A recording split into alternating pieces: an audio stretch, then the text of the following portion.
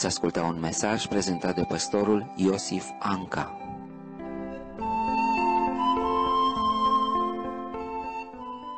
Să deschidem Sfânta Carte și în mod special ne vom folosi de Cartea Genesei, împărtășind împreună o familie din Biblie, și anume familia lui Iacov, și am numit-o familia cu mulți copii. În vremea noastră sunt mai multe familii cu mulți copii. Acest Iacov a avut 13 copii și chiar dacă au fost mai multe neveste, totuși Lea a avut șapte copii, ceea ce totuși înseamnă relativ mulți față de media celor de afară.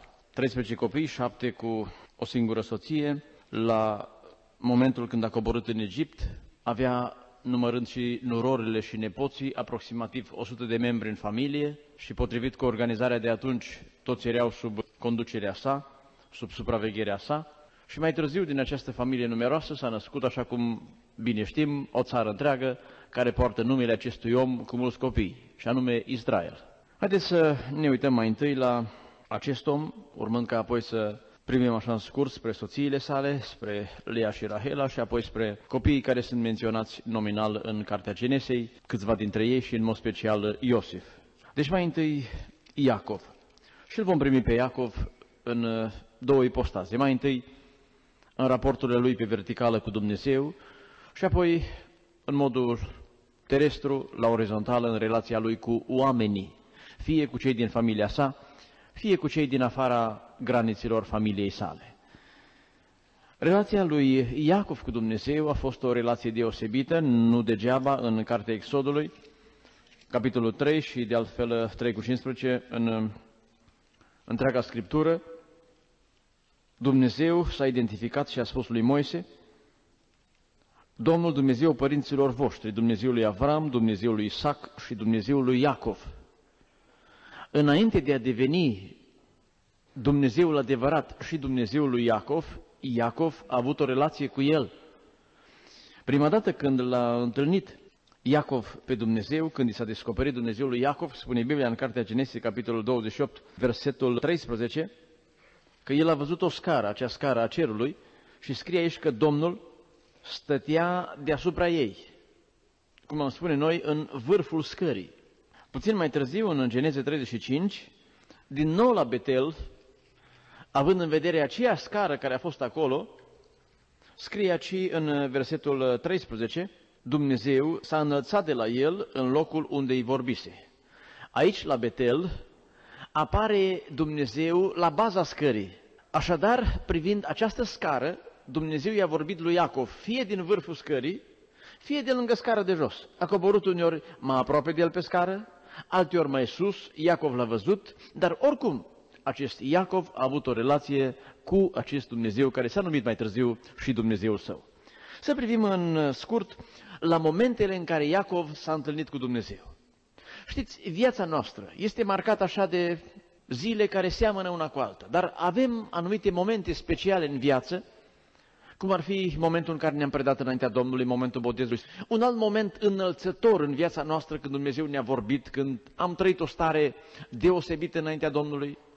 Ia haideți să urmărim împreună aceste momente, mai întâi cel din Geneze 28, când pentru prima dată s-a întâlnit Iacov cu Dumnezeu.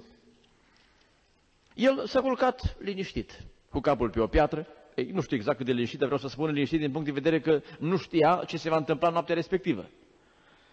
Dar scrie aici, versetul 16 din Geneza 28, Iacov s-a trezit din somn și a zis, cu adevărat, Domnul este în locul acesta și eu n-am știut.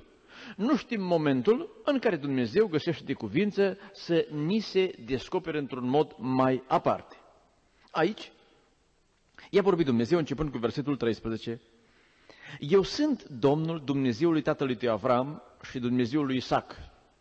Pământul pe care ești culcat ți-l voi da ție și seminției tale. Sămânța ta va fi ca pulberea pământului, te vei întinde la apus și la răsărit, la miază noapte și la miază zi, și toate familiile pământului vor fi binecuvântate în tine și în sămânța ta. Iată, eu voi fi cu tine, te voi păzi pretutindeni pe unde vei merge și te voi aduce înapoi în țara aceasta, căci nu te voi părăsi până nu voi împlini ce-ți spun. Ce cuvânt frumos și binecuvântat a primit Iacov din partea Domnului. Dumnezeu a vorbit pentru toată viața, i-a vorbit referitor la țara Cananului, I-a vorbit, fiind vorba despre sămânța sa și despre faptul că îl va duce înapoi. I-a spus clar că este indicat să meargă în Padanaram și că de acolo Dumnezeu îl face să se întoarcă cu familie înapoi. I-a vorbit și în privința familiei. Și aici a fost uh, pentru Iacov momentul în care s-a angajat să-i slujească lui Dumnezeu. A fost momentul solemn în care el scrie, începând cu versetul 20, a făcut o juruință și a zis, Dacă va fi Dumnezeu cu mine și mă va văzi în timpul călătoriei pe care o fac, dacă îmi va da pâine să mănânc și haine să mă îmbrac, și dacă mă voi întoarce în pace în casa tatălui meu, atunci Domnul va fi Dumnezeul meu. Și a pus o piatră de aducere aminte și a făgăduit de asemenea că va da zeciuială lui Dumnezeu. Cred că în mare parte toți avem acest angajament înainte Domnului de devotament și de slujire. Dar poate mai sunt tineri care nu au lucrul acesta făcut înaintea Domnului. Este indicat atunci când vi se descopere Dumnezeu și este indicat înainte de căsătorie să se deruleze acest moment, când sunteți conștienți de prezența lui Dumnezeu, de planul lui pentru voi, de atotputernicia sa, să ne angajăm, să-i slujim fără pretenții mari. Iacov a spus, dacă lucrurile acestea mici, cum spunea Domnul Iisus, dacă aveți ce mânca și ce bea, va fi de ajuns și în rest privirea spre împărăție a lui Iacov era spre Cananul promis, noi spre Cananul nostru ceresc și ca o recompensă din partea lui Iacov s-a angajat să dăruiască și zeciuială lui Dumnezeu. El a plecat spre Padanaram, acolo s-a derulat câțiva zeci de ani din viața sa și la un moment dat, știți, împrejurile a fost de așa natură, a trebuit să se întoarcă în Canaan. Atmosfera în familia socrului său nu mai era favorabilă. Și citim în Geneza 31, cu versetul 13, că Iacov când se zbătea în această situație, ce să fac? Mai rămân, mă întorc, ce am de făcut? Scrie aici, 13, partea a doua versetului, acum scoală-te, ieși din țara aceasta și întoarce-te în țara ta de naștere. Iată ce coincidență între mesajul lui Dumnezeu și împrejurările pe teren. Dacă la două săptămâni după ce făcuse contractul pentru câțiva ani cu Laban ar fi venit acest mesaj, întoarce-te înapoi. Ar fi trebuit să-și încalce angajamentele sale pământești, poate nevestele n-ar fi vrut să-l urmeze, dar mesajul din partea lui Dumnezeu a venit într-un moment în care de acolo se vedea că trebuie să plece. Într-un moment în care nevestele sale au acceptat că trebuie să plece. Și frumos este când în prejurările noastre, fie de familie, fie de servici, și când nu știm exact ce trebuie să facem, măcar că am vedea cam ce trebuie făcut, dar nu știm că este exact voia Domnului sau nu este, ce frumos, ce indicat este să vină Dumnezeu cu un mesaj. Și acesta va fi dacă relația noastră cu El există. Acum ne-a spus Dumnezeu, dar l-a lăsat până în ultimul moment, dar nu a întârziat peste măsura așteptărilor și posibilităților sale. El s-a întors încet, încet spre Canaan. Știți, dacă acolo erau împrejurările vitreje, că socrul său și cumnații săi nu prea se uitau la el prea bine, și în Canaan era Esau. Și cum se apropia de Canaan, creștea stresul pentru Iacov. Mă duc, dau de Esau, mi-amintesc cu ce vorbă ne-am despărțit. Și Petru fiind, spune în Geneza 32, versetul 28, în acea noapte, când Iacov n-a dormit, n-a avut somn, a stat în rugăciune, în momentul său de încercare, scrie 32 cu 28, apoi a zis, auzit din nou vocea Domnului, numele tău nu va mai fi Iacov. Că dacă ai fi tot Iacov pe când te întorci la Esau, pentru Iacov a avut Esau o pedeapsă. Dar ți-am schimbat numele și am schimbat și toată lucrarea. Ci te vei chema Israel, cel ce luptă cu Dumnezeu, căci ai luptat cu Dumnezeu și cu oamenii și ai fost biruitor. Iată cum a pornit Iacov în acea dimineață când urma să-l aștepte pe Esau, cu un mesaj proaspăt în noapte dat de Dumnezeu. Cum a pornit Gedeon mai târziu la luptă împotriva madianiților? Cu un mesaj mai vechi, și cu un mesaj proaspăt, actualizat și a avut putere să lupte 300 de oameni cu 120 de mii datorită vorbei prezente spuse de Dumnezeu. Amintiți-vă că și la Laban Dumnezeu i-a șoptit într-o noapte. Era cu Iacov cum mi-a promis. Ferește-te pe mâine dimineață să-i spui o vorbărea lui Iacov. Dumnezeu a fost foarte punctual. Nu întârzia să dea telefoane cum poate noi oameni întârziem. Și la timp îl suna pe Iacov, uite asta urmează. Un alt moment binecuvântat al întâlnirilor sale cu Dumnezeu, Geneze 35, aici deja Iacov avea mulți copii, în tinerețe poate e mai ușor să păstrăm o relație cu Domnul. Cei care sunt necăsătoriți, spune Biblia în 1 Corinteni 7, că se pot dedica total pentru Domnul. Dar pe măsură ce familia crește, cei care au trecut pe aici știu, parcă problemele devin mai acute, mai complexe, timpul parcă devine tot mai redus și deja copiii săi crescuseră mari, fica sa avusese un incident negativ, doi băieți de-ai săi recurseseră așa mai serios la forță și în acest moment în care pe lângă acestea idolatria pătrunsese în casa sa, Iacov cred că, dat fiind versetele de mai sus și stările în care în mod normal aceste situații le-au adus, a fost un moment greu pentru Iacov, poate când nu mai știa ce să fac. Uite, copiii sunt așa, uite, în jur oamenii mă privesc acum așa, ce să fac? Și scrie aici, 35 cu 1, cred cât de mult a așteptat Iacov acest mesaj din partea lui Dumnezeu. Dumnezeu a zis lui Iacov, scoală-te, suie-te la Betel, locuiește acolo și ridică acolo un altar Dumnezeului care ți s-a arătat când fugeai de fratele tău Esau. Și Iacov, ca unul care a dorit acest mesaj și l-a socotit necesar, a trecut imediat la aplicarea lui. Versetul 2 a spus casei ceea ce au de făcut și acum urmează de la versetul 9 ce i-a spus Dumnezeu la biserică, la Betel. Dumnezeu s-a arătat iarăși lui Iacov după întoarcerea lui din Padan Aram și l-a binecuvântat. Vedeți ce binecuvântări repetate? Să ne dea și nouă Domnul așa din când în când, când slăbim și avem nevoie de ele. Dumnezeu a zis, numele tău este Iacov, dar nu te vei mai chema Iacov, ci numele tău va fi Israel, pentru a doua ori l-a încredințat. Acum în biserică, atunci noaptea în particular. Și Dumnezeu a zis, eu sunt Dumnezeul cel atotputernic. Crește și înmulțește-te. Un neam și o mulțime de neamuri se vor naște din tine și chiar împărați vor ieși din copsele tale. Ce făgăduință binecuvântată! Poate, acum știm de la familie cu mulți copii, ajung în asemenea momente când poate se și îndoiesc, trebuia făcut toți copiii aceștia, ce se va alege de ei, ce va fi cu ei. Și a spus Dumnezeu, fi pe pace. Ceea ce este, eu știu, eu sunt Dumnezeu și tot puternic, generațiile trebuie să vină așa la rând cum vor fi ele și cum veți fi tăi așa, totuși din ei să știi că vor ieși împărați. Cred că Iacov atunci nu mai vedea ce poate să iasă din copiii lui. Și Dumnezeu l-a încredințat în privința aceasta și a continuat cu versetul 12. Ție îți voi da țara pe care am dat-o lui Avram și lui Isaac și voi da țara aceasta seminției tale după tine, făgăduințe pentru familia lui. Cum își doresc părinții asemenea făgăduințe să le spună Dumnezeu, din copiii tăi va fi ceva, va rămânea ceva. Spune Isaia 54, toți se vor întoarce înapoi, nu se va pierde unul. Așa ceva i-a făgăduit Dumnezeul lui Iacov și a avut mare nevoie de așa ceva. Și el a pus aici, spune în versetul 14, un stâlp de aducere aminte. Noi nu mai punem stâlp de aducere aminte, dar indicate să ținem minte. Dumnezeu nu ne vorbește toată ziua, dar cu un mesaj din acesta, du-te ani de zile. Ține-l minte, pune un stâlp de aducere aminte în memoria ta, păstrează ca o amintire bună și puternică în inima ta ca să ai încredere în momentele care urmează. Dar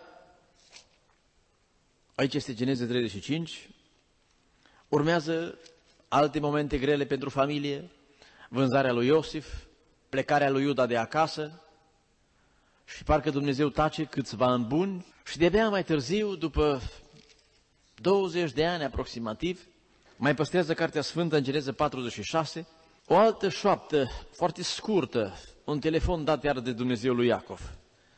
Acum a aflat că Iosif trăiește și era o nouă răscruce în viața sa, să mă pogor în Egipt, dar țara aceasta e făgăduită pentru mine.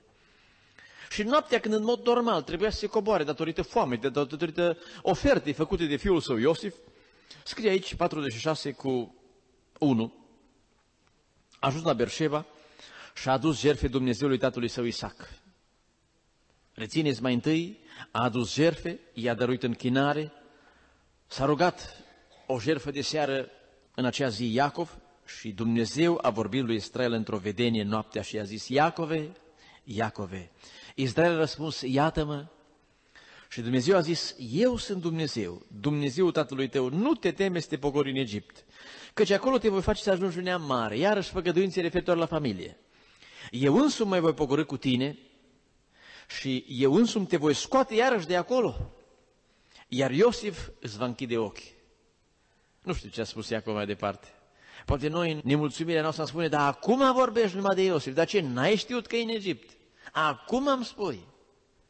Dar doar acum, în ultimul moment. Uneori Dumnezeu ne dă mesaje mai multe. Dar nu știu exact dacă din toată grămada de mesaje, din toată pleiada de profeții, câte le auzim, toate sunt neapărat de la Dumnezeu sau uneori, nu neapărat că sunt de la diavol, poate sunt niște îndemnuri din partea oamenilor. Mesajele de la Dumnezeu uneori poate rare, dar profunde, trebuie să ne marcheze o viață întreagă. Așa să ne ținem de ele ca de cel mai puternic sprijin, să stăm pe ele ca pe cea mai solidă stâncă, indiferent de ceea ce este în jur. Acum, sunt încredințat că Iacov s-a pogorât liniștit în Egipt. Avea el încredere în Iosif, îl știa că de mic o fil a fost ceva deosebit în el și acum ai locul doi în Egipt, dar mă gândesc că totuși avea o reținere. Dar când a știut că Iosif îl așteaptă în Egipt, Dumnezeu este cu el, a mai fost vreo problemă? Acum s-a coborât și el liniștit așa, un om bătrân portat prin toată lumea cu o familie cu atâtea probleme. Să privim acum la un alt aspect al relației sale cu Dumnezeu, dacă acum am văzut vocile lui Dumnezeu către el, să ne uităm la viața sa de rugăciune, altarele care își înălțau fumul spre Dumnezeu. În acea noapte când a primit binecuvântarea, Geneze 32, are aici Iacov o rugăciune frumoasă de la versetul 9. Iacov a zis, Dumnezeul tatălui meu Avram, al tatălui meu Isaac, Tu, Doamne, care mi-a zis, întoarce-te în țara ta și în locul tău de naștere și voi îngriji ca să-ți meargă bine.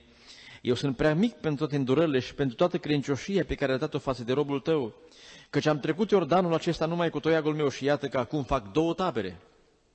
Izbăvește-mă, te rog, din mâna fratelui meu, din mâna lui Esau, că-și mă tem de el ca să nu vină și să mă lovească pe mine, pe mame și pe copii. Și tu ai zis, eu voi îngriji ca să-ți meargă bine și îți voi face sămânța ca nisipul mării, care de mult ce este nu se poate număra. Vedeți, grija părinților, nu doar pentru sine. S-a pus în față, dacă mă omoare, să mă omoare pe mine, să ia la rând. Dar grija unui părinte pentru copii, să nu omoare mamele, să nu omoare copiii, fie în plan fizic să nu fie omorâți, fie în plan spiritual. Dar ce rugăciune în care i-a amintit lui Dumnezeu toate făgăduințele, o rugăciune foarte concret. Nu greșim dacă i amintim lui Dumnezeu, Doamne, Tu ai promis. I-a spus Moise lui Dumnezeu, Doamne, ce vor zice neamurile? Tu ai spus că ne scoți din Egipt și din Canaan. Acum, uite, pe baza cuvintelor tale, noi ne rugăm. Rugați-vă pe baza promisiunilor lui Dumnezeu din cuvânt sau cere ulterioare speciale date de Dumnezeu prin Duhul Sfânt nouă. Și Iacov de asemenea a fost mulțumitor pentru ce a făcut Dumnezeu. A fost foarte punctual cu zecioala, nu știu exact la cine a dat-o. Altfel, nu prea cred cum n-ar fi binecuvântat Dumnezeu fost să-și achite El datoriile către Dumnezeu. Aici este scris o rugăciune de patru versete. Însă, în pagina din dreapta, scrie că a rămas singur, atunci un om s-a luptat cu el până în revărsatul zorilor. Nu știu exact cum a fost acea luptă, dar ne ajutăm cu un cuvânt din cartea profetului Osea, capitolul 12, citim doar 4, scrie că Iacov s-a luptat cu îngerul și a fost biruitor, a plâns și s-a rugat de el. O noapte de luptă, o noapte de plâns, amintiți-vă și de lacrămile și sudorile Domnului Iisus în Ghețimani. Dumnezeu vine cu intervenții speciale, cu mesaje profetice de viață. Dar în drum spre Egipt i-a vorbit după rugăciune. Aici a vorbit Dumnezeu după o noapte de luptă. Dumnezeu ne vorbește, dar după ce noi ne luptăm și îngerii au ce duce pe acea scară de unde Dumnezeu ne vorbește, fie din vârful ei, fie de la baza ei. Pe lângă rugăciunea sa individuală a lui Iacov, Iacov și-a provocat și familia la rugăciune, scrie aici, în capitolul 35, versetul 7. Toți copiii și soțiile trăiau în acel moment. La Betel a zidit acolo un uh, altar și a numit locul acela El Betel, Dumnezeul Betelului. Însă s-a rugat și a zidit acest altar, după care i s-a arătat Dumnezeu, după ce a făcut curățenie în casa sa, din punct de vedere al idolatriei. Mai amintim doar un singur aspect al lui Iacov în relația sa cu Domnul. Iacov a fost un proroc, mari patriarhi, în general au fost proroci. Citim în capitolul 48, versetul 19, când a venit Iosif cu copiii săi cei mai mari, Manase și Efraim la el, au zis cum prorocește Iacov. Știu, fiule, știu că el va ajunge un popor și el va fi mare, zice despre Manase. Dar fratele lui cel mai mic va fi mai mare decât el și sămânța lui va ajunge o ceată de neamuri. Versetul 20, numele tău îl vor întrebuința izraeliții când vor binecuvânta, zicând Dumnezeu se poarte cu tine cum s-a portat cu Efraim și cu Manase. Și astfel a pus pe Efraim înaintea lui Manase. Și apoi, între capitolul 49, sunt profeții pentru fiecare din cei 12 copii ai săi. A fost un proroc care, printre altele, în versetul 10, a profețit și despre Domnul Isus, care urma să se nască din sămânța sa, din seminția lui Iuda. Așadar, Dumnezeu i s-a arătat în momente speciale, cruciale. Iacov l-a ascultat întru totul pe Dumnezeu, nu i-a fost ușor în acele momente, dar de fiecare dată Dumnezeu i s-a arătat în urma rugăciunilor sale. Și apoi Iacov a fost un profet al lui Dumnezeu, în mod special pentru casa sa și pentru Israelul de mai târziu. Să ne uităm acum la relația sa cu oamenii. Mai întâi, din punct de vedere al căsătoriei, în tinerețe. În 28, versetele 1 și 2, este scris că Iacov a ascultat la căsătorie de Dumnezeu prin părinți. Isaac a chemat pe Iacov, l-a binecuvântat și a dat porunca aceasta, să nu ție nevastă dintre fetele lui Canaan și scoală-te, du-te la Padan Aram, în casa lui Betuel, tatăl mamei tale și ia de acolo o nevastă dintre fetele lui Laban, fratele mamei tale. Când fratele său Esau n-a ascultat, Iacov a ascultat de Dumnezeu. Diferența o știm. Ce s-a ales de Esau și ce a rămas acest uh, Iacov. Însă nu doar că a ascultat, Că așa ar fi simplu și insuficient. Să spunem noi tinerilor, căsătoriți-vă numai cu fete din biserică și fetelor, nu credeți ca Dina, sau poate n-a crezut, dar așa declarați Hem că o iubește, că cineva din afară vă poate iubi. Nu e suficient să crezi și să te duci apeția, îmi spune noi, în perimetrul acesta a bisericii. Iacov a mai făcut ceva. În capitolul 29, cu versetul 18 scrie, Iacov iubea pe Rahela și a zis, îți voi sluji șapte ani pentru Rahela, fata ta cea mai mică. Poate că o fată bună din biserică, am mai mulți băieți și-ar pune ochii și și-ar îndrepta inima către ea, dar ați fi în stare să slujiți cât să o puteți primi din partea Domnului. Sau din partea dumneavoastră la fel. Poate un băiat care știți că este pocăit și Dumnezeu va fi cu el în viață și veți fi o soție fericită lângă el, L-ați dorit într-un fel, dar ați putea să slujiți ani sau vremea până în momentul respectiv ca Dumnezeu să vi-l dăruiască?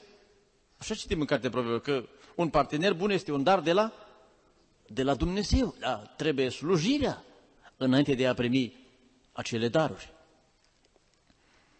A avut în uh, privința căsătoriei un mesaj din partea Domnului, cel despre care am vorbit, când i s-a arătat noaptea, du-te, în mod special la noi, tinerii doresc și un mesaj din partea lui Dumnezeu când este vorba despre căsătorie. Mesajul lui Iacov a fost cam general.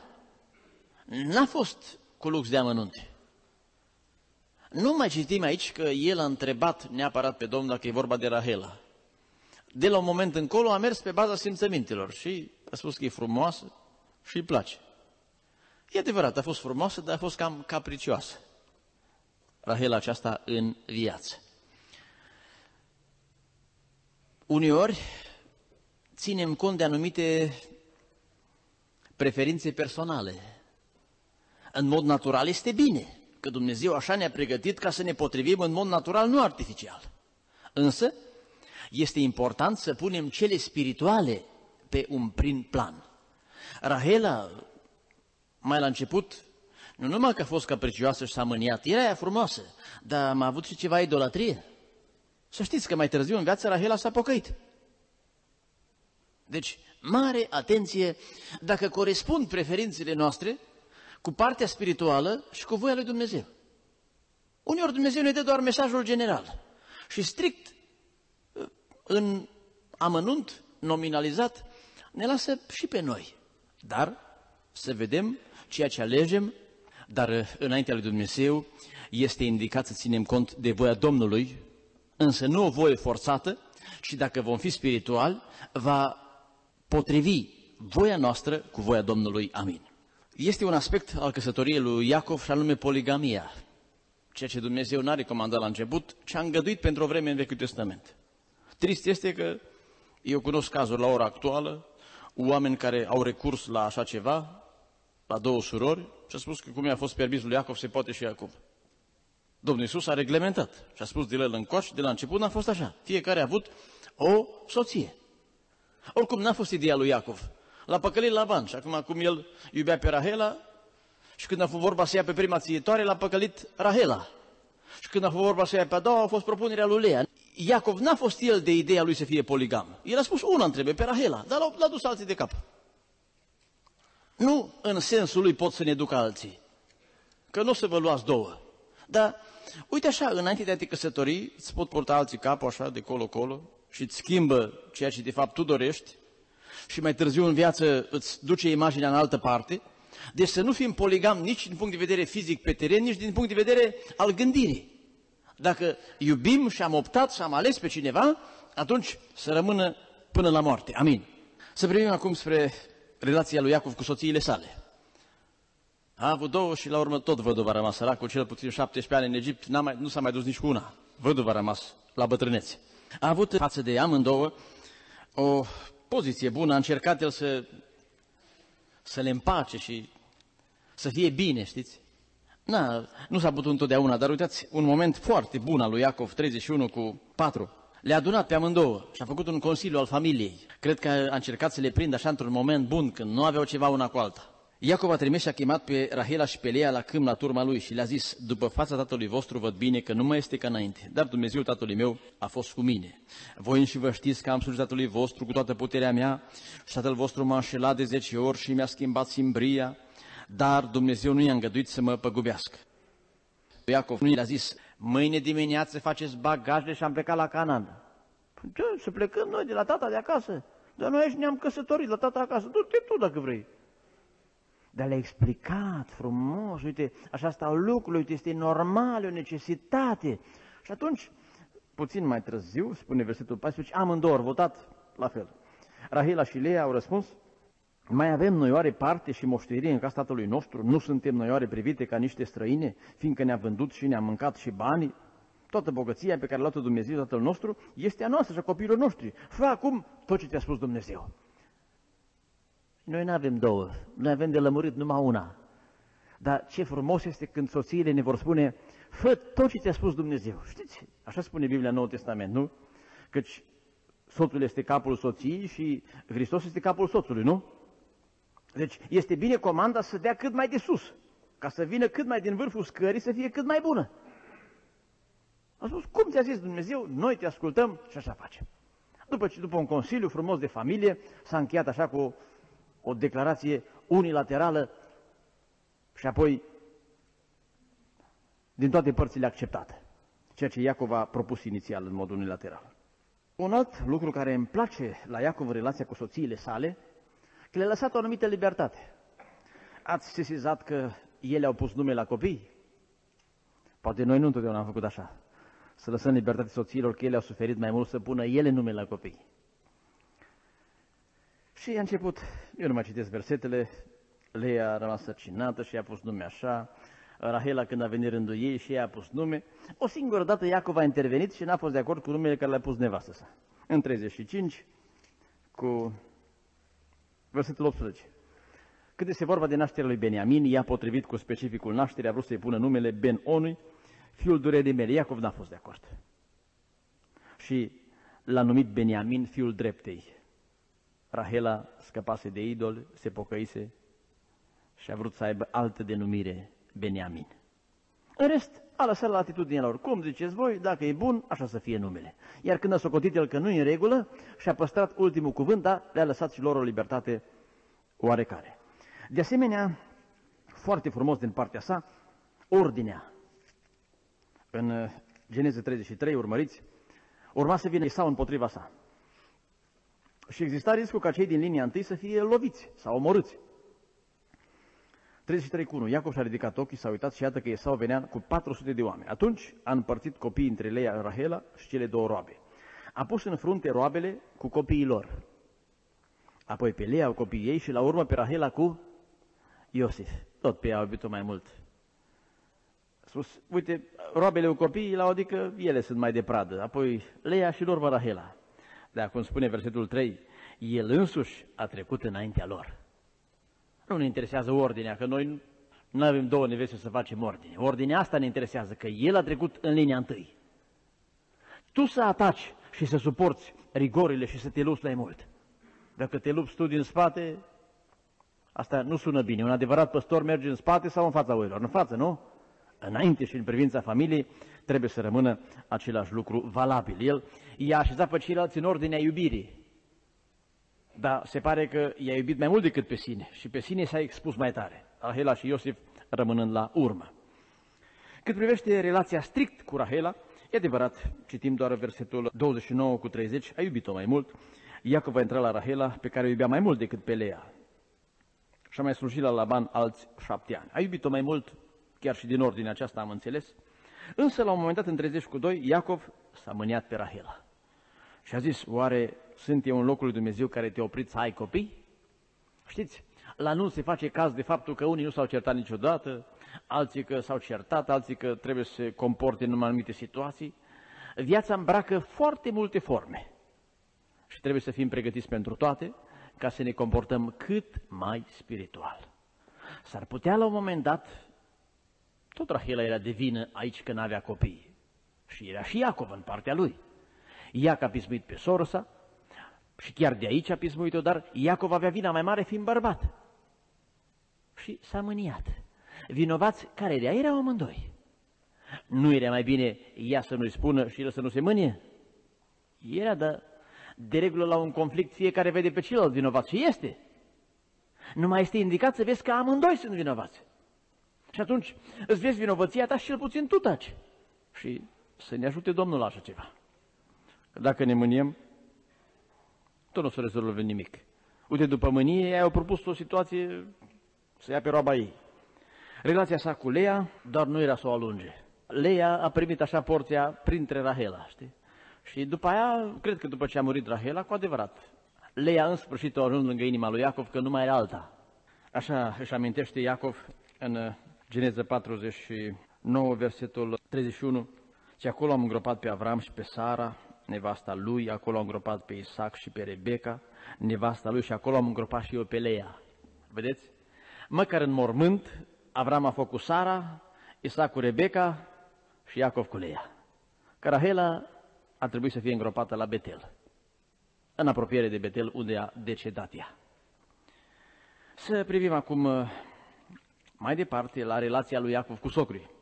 Știți, că sunt foarte multe vorbe legate de socri și de soacră și de relații de genul acesta. Haideți să ne uităm la acest om al lui Dumnezeu în raporturile sale cu ei.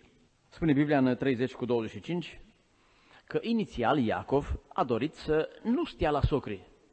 După ce a născut Rahela pe Iosif, Iacov a zis lui Laban, lasă-mă să plec să mă duc acasă în țara mea. Dăm nevestele și copiii pentru care ți-am slujit și voi pleca, fiindcă știi ce slujbă ți-am făcut. Și spune versul 30, partea a doua, acum când am să muncesc și eu pentru casa mea? Se naște problema asta inevitabilă.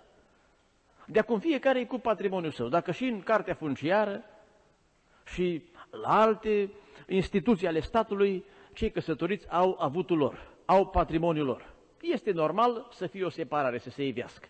Întreabă Iacov, când mai muncesc pentru casa mea de acum? Nu mai poate fi un bun comun. La banii spuneau să rămâne la noi, ne înțelegem așa și așa. Au convenit ei într-un fel să se înțeleagă, numai că din acele înțelegeri n-au rezultat într totul lucruri bune. Târgul lor a fost respectat, Numai că Iacov, știți, el, felul lui, a luptat cu Dumnezeu și cu oamenii. El nu se da bătut. El avea alte făgăduințe. El avea alte promisiuni din partea lui Dumnezeu. El era omul care dădea zeciuială. Și n-au mai potrivit lucrurile. El a început să se îmbogățească și la ban a început să se răcească. Și așa se va întâmpla oriunde stau tinerii cu bătrânii. Socrii cu ceilalți. Nu se poate păstra egalitatea. Ba, tinerii o să spună, da, voi sunteți bătrâni, vor nu mai trebuie de acum atâtea. Și el o să spună, da, se toate au fost a noastre, ce-o spus ăștia? De unde și-au adunat el avere? Păi cu sculele noastre au lucrat și-au făcut meserie și-au făcut bani. Nu a fost atelierul nostru, nu a fost pământul nostru și inconvenientele apar. Nu, nu se poate să nu apară stând împreună unii cu alții. Și au apărut, spunea și în versetul 31, în capitolul 31, versetul 1 și 2, Iacov a auzit vorbele fiilor lui Laban care ziceau, Măi, politicoși, nu s-au certat ei neapărat pe față, dar în dos. Iacov a luat tot ce era al tatălui nostru. Și versetul 2, Laban n-a zis nimic.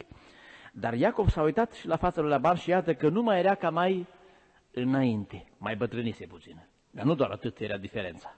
Diferența era și sub altă formă. Altfel privea Laban spre șinele lui care a fost atât de drag și a dat amândouă fetele. Și spune în uh, capitolul 31, versetul 44, referitor la partea bună în final, după ce s-au despărțit ei, a fost nevoie să se despart. Eu personal, și așa văd din Biblie, merg pe ideea să se despartă de la căsătorie. Este cel mai indicat. Biblia spune, va lăsa omul pe tatăl său și pe mama sa. Și își vor avea trupul lor separat, proprietatea lor separată. Aici au ajuns și Iacov cu Laban în final să se despartă. Și au zis ce au spus el la despărțire. 31 cu 44. Vino să facem amândoi un legământ și legământul acesta să slujească de mărturie între mine și tine. Și în 52, movila aceasta să fie martoră și stâlpul acesta să fie martor, că nici eu nu voi trece la tine peste movila aceasta și nici tu nu vei trece la mine peste movila aceasta și peste stâlpul acesta ca să ne facem rău. Este indicat să se păstreze o movilă între unii și alții. Ca nu cumva să, să nu fie cum trebuie. Pe movilă e bine să adune din când în când la câte o masă toată ziua și au stat aici și au servit o masă împreună. O masă pe movilă e bună, dar e bine fiecare cu proprietatea dincolo sau dincoace de movilă. Că altfel, dacă nu cu părinții, cu cumnații, ceva tot apare. Iacov a fost bine înțeles cu simbria, dar înțelesul ține de binecuvântare. Înțelesurile sunt foarte relative. În plan economic lucrurile știu eu să schimbă, știu eu ce dereglări financiare apar și unii câștigă mai bine, alții mai puțin. N-ai cum să împarți lumea asta în părți egale, că e rotundă. N-ai cum. Și ceea ce a mai greșit, se pare că Iacov cel puțin i-a imputat la ban, că a plecat fără să spună. Acestea sunt cele două mari probleme care apar între cele două generații căsătorite deja. Una, problemele de la avuție și celălalt problemele de la discuții, de la înțelegere, de la vorbe. I-a zis aici, în scrie în 31 cu 20, Iacov a înșelat pe Laban și nu l-a înștiințat de fuga sa. Se impută vorbe de genul, dar nu mi-ai spus că faci asta. Dar a plecat fără să-mi spună. A fugit. Și au zis și spune Laban în uh, versetul 27. Pentru ce ai fugit pe ascuns și m-ai înșelat? Te-aș fi lăsat să pleci în mijlocul veseliei și a cântecilor, în sune de timpană și de lăută. Nu știu exact dacă era așa. Că nu degeaba a spus Dumnezeu, vezi, nu pune mâna pe ginerele tău. Și spune versetul 31 Iacov, am fugit fiindcă mi-era frică, gândindu-mă că poate îmi vei lua înapoi fetele mele, vedeți? Unul gândește într-un fel și la gândește altfel. Unul face așa și la spune trebuia făcut altfel. Și astea sunt cele două probleme care apar, fie de la avere, fie de la vorbe și înțelesuri. Chiar de la întâlniri și lucruri de genul acesta. Însă, oricum, în final, lucrurile s-au încheiat cu bine. Și dacă sunt undeva conflicte, să dea Domnul să încheie cu bine. Fiecare să asculte mesajul din partea lui Dumnezeu. În aceeași noapte a vorbit Dumnezeu și la Iacov și la Laban și dimineața s-au împăcat. Când îi vorbește Dumnezeu numai la unul e mai greu și când nu vorbește nici la unul, o să le șoptească satana și o să continue procesul. Dacă e cazul și la tribunal, indiferent că în Biblie scrie că pocăiții n-au ce căuta pe acolo. Decât dacă vor să ajungă și la judecata de apoi. Să obișnuiți pe acum cum e la judecată. Da, asta nu e pentru noi. Înainte de căsătorie s-a dus Iacov și a locuit la Rudenii. În Genezele 29, versetul 11, Apoi Iacov a ajuns, a sărutat pe Rahela și a început să plângă tare. A spus Rahele că este rudă, s-au dus acasă și spune versetul 14, cu adevărat tu ești os din oasele mele și carne din carnea mea. Și Iacov a stat la Laban o lună, apoi șapte ani. A sărutat-o la început că a fost verișoara sa, dar apoi șapte ani au stat curați. Biblia spune în 1 Timotei 5 cu 2, să ne purtăm cu toată curăția. Fie fiind vorba de prieteni de familie în biserică, fie fiind vorba de rudenii, măcar că a știut cu ea de nevastă, târgul era gata făcut, dar și-au păstrat curăția și o parte și cealaltă. Și să ne dea Dumnezeu și nouă asemenea tineri. Să nu recurgă să stea la socri. Nu asta este ideea. Ideea este, dat fiind situațiile pe teren, el era în altă țară, oricum familia era mai mare, acolo aveau robe, aveau slujitori. Nu era vorba doar de o familie, de un apartament sau de o casă cu un singur număr, cum e acum. Acolo era corturi întregi, turme, poate zeci de robi și un neam mare. Dar vreau să spun că și-au păstrat amândoi curăția. Să privim acum la relațiile lui Iacov cu cei din jur. Cu cananiții, de exemplu, și mai exact cu Esau, cu fratele său. Citim în capitolul 32, versetele 2 la 4. Știți că și până a fost tânăr nu s-a prea înțeles el prea grozav cu fratele său. 32 cu 3 și 4. Iacov a trimis înainte niște sol la fratele său Esau în țara Seir, în ținutul lui Edom. Și a dat porunca următoare. Iată ce să spuneți domnului meu Esau. Așa vorbește robul tău Iacov. Am locuit la Laban și am rămas la el până acum. Și i-a trimis darurile necesare. A pus problema în fața lui Iacov, lui Esau și s-a dat ca un rob. S-a smerit. A ținut neapărat să se împace cu Esau. Este câte un om de scandal care nu-l interesează că e mai tare decât celălalt, că e mai slab, că îl costă, că nu-l costă, nu se dă. Iacov avea făgăduințe din partea lui Dumnezeu, puteți să spună lui Esau, n-ai ce-mi face, Dumnezeu m-a promis că a fi cu mine, a mea e țara asta. Nu mă interesează, Dumnezeu mi-a promis. Pe lângă promisiunea Dumnezeu a făcut totul să se împace. Biblia spune în Matei 5, dacă ai ceva cu cineva, are cineva ceva cu tine, măi, fă totul și te împacă. Și a dat daruri. Știți câte daruri a dat? Multe de tot. Să fi tot fost bogat, dar oricum a fost darul mare. Spune aici în 33, referitor la darul acesta care l-a dat, dar 32 citim exact darul, de la versetul 14. 200 de capre, 20 de țapi, 200 de oi, 20 de berbeci, 30 de cămile alăptătoare cu mânjilor, 40 de vaci, 10 tauri, 20 de măgăriți, 10 măgăruși. Poate noi ne-am putea împăca cu un pui de găină dacă facem un cadou. Dar uneori poate nici la atâta nu apelăm. Și ăsta a dat cu zecile și cu sutele animale, numai să împace. Numai să împace. S-o plecat, s-o închinat înaintea lui. Cum au zis? Numai să împace. Că după aia știu el ce trebuie să facă.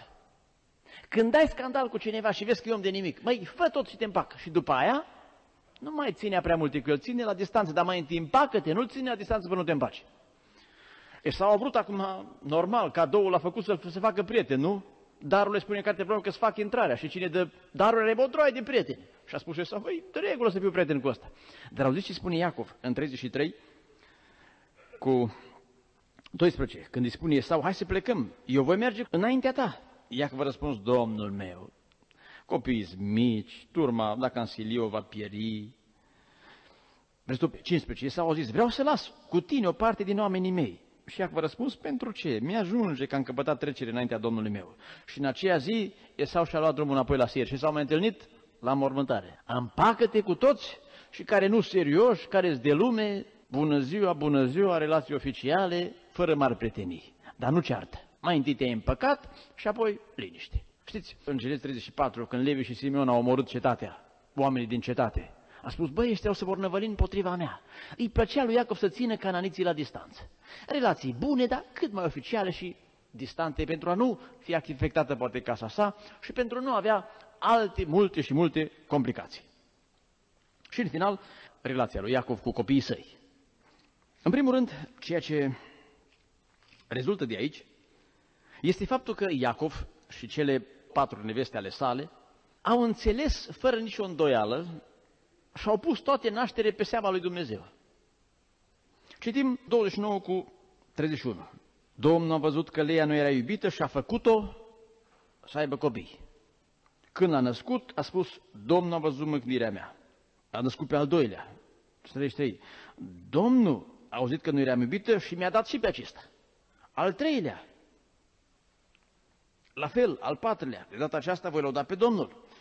În 30 cu 2 zice Iacov, sunt eu oare locul lui Dumnezeu care te-a oprit să ai copii? Puțin mai departe, versetul 6, Rahela, mi-a făcut Dumnezeu dreptate, adică Dumnezeu mi l-a dat. Mai târziu, în versetul 17, Dumnezeu a ascultat pe Lea care a rămas însărcinată. Lea a zis, mi-a răsplătit Dumnezeu. Versetul 20, după următorul, Lea a zis, frumos dar mi-a dat Dumnezeu. Mai care cum îl năștea al șaselea, primul? Dumnezeu mi l-a dat, Dumnezeu a făcut-o să aibă copii. Așa a spus verset, zice că Dumnezeu a făcut copii, nu e doi. Dar la fiecare din ei apar versete de genul ăsta. Deci Dumnezeu mi l-a dat, Dumnezeu a făcut, El l-a făcut. Ei au fost conștienți într-o familie cu 13 copii că fiecare copil a fost dat de Dumnezeu. Când dai încredințarea asta, face mult. Chiar în viață dacă vor apare probleme. E ca și la căsătorie. Dacă ai încredințarea că Dumnezeu ți-a dat nevasta, băi, cât ar fi de greu, Doamne, acum Tu mi-ai dat-o cum eu Adam, femeia care mi-ai pus-o lângă mine, cu ea ai probleme. Când vin copiii, Doamne, copiii ăștia care i-ai pus în casa mea. Dar dacă nu ești încredințat că nevastă dată Domnul, nu ești încredințat că copiii ți-o dat Domnul, de nevastă poate scap, de copii n-ai cum, să poți să desfia, dar oricum e problemă. Dar să fii încredințat că și nevasta și copiii sunt acolo că Domnul i-a făcut și Domnul i-a dat. Altfel poți să iei problema. Altfel poți să o duci cu Dumnezeu, nu singur. În al doilea rând, să vedem poruncile date de... Am mai putea adăuga aici că nu doar că a crezut Iacov, aș și afirmat aceasta, că l-a întrebat sau cine să ăștia copiii care mi-a dat Dumnezeu 33 cu 5. Poruncile care le-a dat Iacov copiilor săi. Capitolul 49, după ce rezultă din capitolele acestea pe rând că i-a dus la Betel și că le-a vorbit despre Dumnezeu, în capitolul 49, în versetul 33 scrie Când ai sprăvit Iacov de dat porunci fiilor săi și a tas picioarele în pat și a dat Duhul și a fost adăugat la poporul său. Și întoarcem pagina 50 cu 16. Deci, când a terminat de da la porunci la copii, a murit. Ca părinți, noastră știți, ești părinte până mori. Poți să fii strămoș, nu părinte. Tot părinte rămâi. Până a murit, a fost tot vremea să dea la porunci. Și în ultima seară, înainte de a muri, tot porunci le-a dat. Ce frumos e când ascultă copiii chiar de tatăl lor. 50 cu 16 și au trimis să spună lui Iosif, tatăl tău a dat porunca aceasta înainte de moarte. Așa să vorbiți lui Iosif. Oh, iartă nelejuirea fraților tăi și păcatul lor, că ți-au făcut rău, iartă acum păcatul robilor Dumnezeului tatălui tău. Iosif a plâns când a auzit cuvintele acestea. Când a auzit ce poruncă a dat tatăl său. Cât e de important și de indicat să dăm porunci sănătoase copiilor. Știți ce spune Dumnezeu despre Avram? Știu că Avram va porunci copiilor săi ca atare. Ca părinte avem darul să poruncim și rolul acesta. Poate după moarte își vor aduce copiii aminte de poruncile date. Poate nu le vor ținea pe toate. N-au ascultat ăștia într totul. Nu i-o fi spus el la Iuda să nu fugă de acasă. Dar le-a poruncit. Ele rămân înscrise, după cum Dumnezeu care ni tată și a lăsat scrise poruncile pe table de piatră, să știți că și poruncile părinților rămân ca scrise undeva. Și le au un rol. Că ascultă copiii, că n-ascultă deodată, poate vor asculta după aceea, că și noi de Dumnezeu n-am ascultat de la început. Și ascultăm după ce ne vine mintea la cap și Duhul în inimă. Dar măcar poruncile să fie bune. Să fie porunci drepte.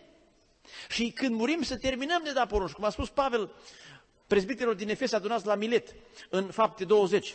V-am spus tot ce trebuia să vă spun. El a fost ca un părinte spiritual. Și ca părinte trupești de asemenea, trebuie să dăm toate poruncii necesare. Și trebuie asta multe și repetate, de ne sculăm, când ne culcăm, când plecăm în călătorie și când ne întoarcem, că știm noi ce greu prinde în mintea copiilor. Știți, dumneavoastră, este câte un pix care dai și scrii, mai rămâne urmă, dar, dar nu se vede scrisul. Atâta pești de tare că nu, nu, nu scrie undeori. Alte ori scrie, dar se șterge. Vine ploaia, sunt substanțe care sunt duse. alteori scrie în capătablă și cineva dă cu buretele și iar nu-i nimic. Iar trebuie să scriem și mâine dimineață și mâine seară, da, să continuăm a scrie. Până când în final se va întipări. Amin. Pe lângă aceste porunci, un lucru de care sunt conștiente toate familiile, Iacov a avut multă durere și necaz. Citim în 34 cu 30, după ce doi băieți au făcut nu o bătută strașnică, ci o omorâre strașnică. 34 cu 30. Atunci Iacov a zis lui Simeon și Levi, voi m-ați nenorocit. Mulți părinți ajung să spună, știu o familie, spunea, avea mai mulți copii, spunea, băi copii, voi mă băgați în iad, măi. Și poate mulți părinți ajung să spună așa. A spus Iacov, voi m-ați nenorocit. Citim și alte versete? 42 cu 35. După ce i-au spus toate acestea, zicea, plângând mă voi pogorâ la fiul meu în locuința morților și plângea astfel pe fiul său. Și acum 38 din 42. Iacov a zis, fiul meu nu se poate pogorâ cu voi, căci fratele lui a murit și l-a rămas singur. Și dacă îi se va întâmpla vreo nenorocire în călătoria pe care o faceți cu durere, vă spuneam de necas și durere, cu durere îmi veți pogorâ pe mei cei albi în locuința morților. Există uneori această situație. Ți-au făcut copiii pere albi și poate fi situația tristă, așa să te pogori, nu doar cu pere albi, ci cu durere în locuința morților. Însă Iacov, ceea ce aș vrea să vă sugerez și dumneavoastră ca părinți, și nouă, că nu știm cine rezervă viitorul. Noi suntem încredințați în Domnul, dar viitorul este în mâna lui. Iov nu s-a așteptat la niște lucruri. Totuși, finalul a fost bun. 43 cu 14. Auziți ce spune Iacov. Și asta e un cuvânt bun de spus de toți părinții care au necas și durere pentru copii. Dumnezeu și la tot puternic să vă facă să căpătați trece înainte omului acestuia, asta înseamnă rugăciune, și să se întoarcă împreună cu voi și celălalt frate al vostru și Beniamin. Iar eu, dacă trebuie să fiu lipsit de copii, lipsit să fiu. S-a împăcat în ultimă instanță cu ideea, dacă trebuie să fiu lipsit de copii, lipsit să fiu. De-abia atunci a putut să accepte. Însă nu acesta a fost finalul. Întoarcem două pagini. Eu știu câte pagini mai trebuie întoarse în viața dumneavoastră până o să se spună versetele care le citesc eu acum. Dar oricum, înainte de a muri. Poate la bătrânețe numai. 45 cu 27. Într-o zi o să primiți o scrisoare sau o să auziți o istorie bună. Asta în condiția în care noi ne facem datoria în relația noastră cu Domnul și celelalte porunci care trebuie să le dăm. Când au istorisit tot ce le spusese Iosif și a văzut carele pe care le trimisese Iosif ca să-l ducă, Duhul tatălui lor Iacov s-a înviorat. Și Israel a spus destul. Ei, de asta știți că o și fost destul? Că până să umple câte o cupă din asta, intră mult. Destul, fiul meu Iosif tot mai trăiește. Vreau să mă duc să-l văd înainte de moarte.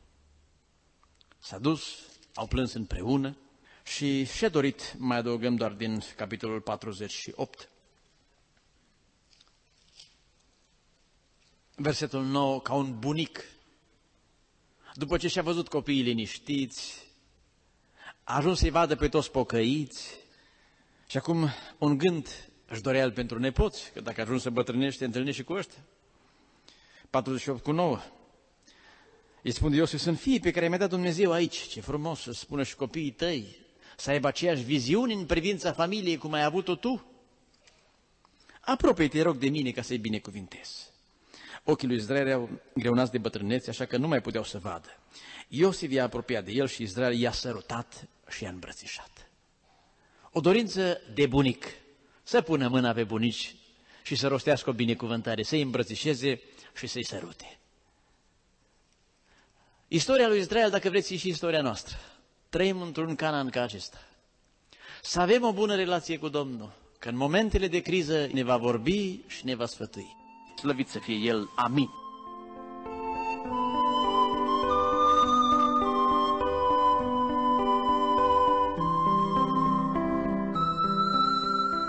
Ați ascultat un mesaj prezentat de pastorul Iosif Anca.